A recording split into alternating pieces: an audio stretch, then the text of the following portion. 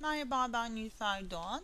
Smartron E10'da şerit oluştururken e, gelen yeni bir özellikten bahsedeceğiz.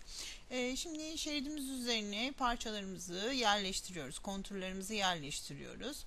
Aralıklarını belirledikten sonra e, bandımızın tasarlarken belirli bir istediğimiz istasyon sayısını belirledikten sonra hangi istasyondan sonra trimleme yapmak istediğimizi belirtiyoruz ve program otomatik olarak band tasarımında o yüzeyden itibaren, o istasyondan itibaren yüzeyleri trimlemiş oluyor.